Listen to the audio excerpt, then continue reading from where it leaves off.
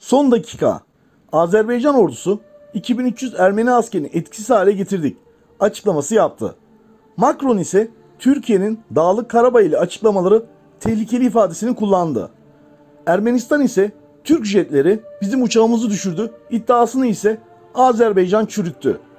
Azerbaycan Ermenistan hattında Dağlık Karabağ üzerinden pazar günü başlayan gerilim bugün de sürüyor. Taraflar dün gece müzakere masasına oturmayacaklarını açıklarken bugün ise Bakü'den çok net ve sert bir mesaj geldi. Azerbaycan Savunma Bakanlığı gece boyunca çatışmaların devam ettiğini açıklayarak 2300 Ermeni askerinin etkisiz hale getirildiğini duyurdu.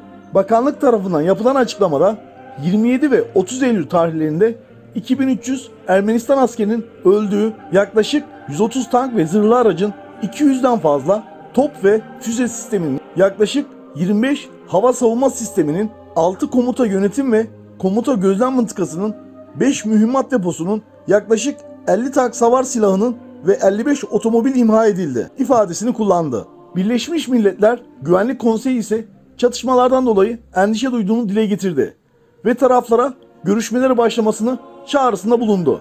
Dağlık Karabağ'da pazar günü başlayan ve onlarca kişinin öldüğü çatışmaların ardından dün iki ülke de birbirini Karabağ dışındaki topraklarını hedef almakla suçladı. ABD ve Rusya'nın taraflara çatışmanın durdurulması için yaptıkları çağrıya rağmen bu gelişmeler çatışmaların tırmanabileceğini sinyalini verdi. Türkiye iddiası gündem oldu.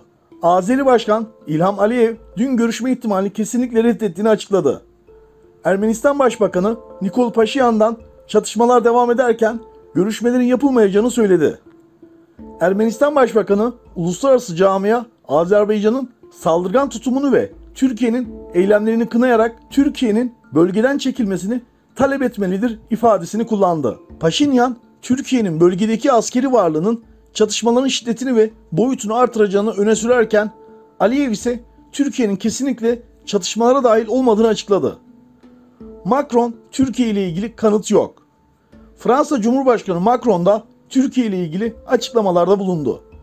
Macron, Türkiye'nin Dağlık Karabağ ile ilgili açıklamaları ile ilgili tehlikeli ve saygısız yorumunu yaparak bunun kabul edilemez olduğunu dile getirdi.